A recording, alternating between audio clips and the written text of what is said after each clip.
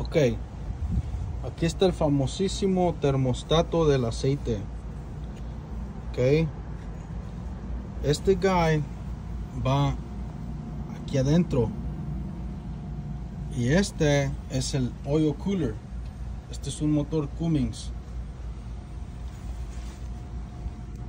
Este termostato es también muy importante, igual que todos los demás componentes, pero para saber si está funcionando o si lo necesita reemplazar, más bien, uh, te va a marcar la temperatura, pero ahí es donde está lo trucoso, porque acá está el termostato del agua.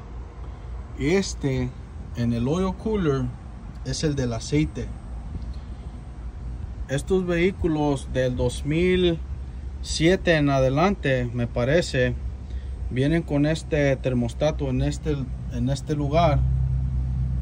Y lo curioso es que te va a aventar un check engine por caliente, pero el aceite, no el coolant, el oil temperature está muy alto. Entonces, para cambiarlo aquí no se, se nos facilitó porque teníamos que quitar rayador y pues otras cositas. Y se dio la chance y le pudimos quitar aquí el, le vamos a cambiar el termostato del aceite. Oil thermostat.